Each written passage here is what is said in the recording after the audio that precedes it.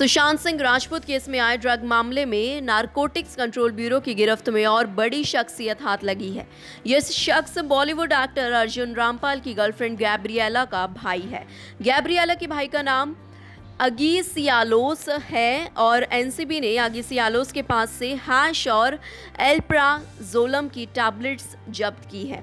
NCB द्वारा गिरफ़्तार किए गए ड्रग पैडलर्स ने से पूछताछ के दौरान अगीसियालोस का नाम सामने आया था। एनसीबी को इसकी एक ड्रग मामले में इसकी बड़ी भूमिका दिखाई दे रही है।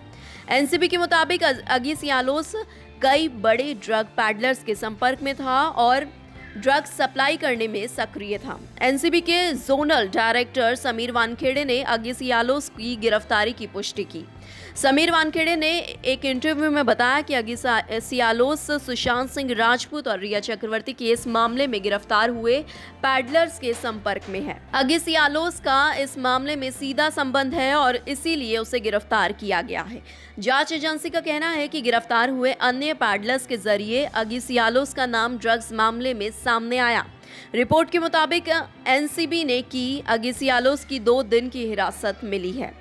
जी हाँ, आपको बता दें कि सुशांत सिंह राजपूत केस में आए ड्रग मामले की जाँच एनसीबी कर रही थी। जाँच के दौरान एनसीबी ने सबसे पहले रिया चक्रवर्ती के भाई शोभिक चक्रवर्ती और कुछ अन्य लोगों को गिरफ़्तार किया था। बाद में रिया चक्रवर्ती को गिरफ़्तार किया।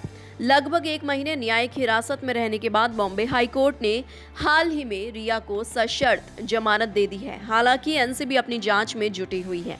नेक्स्ट लाइव की रिपोर्ट के साथ मैं हूँ कनिष्का शर्मा।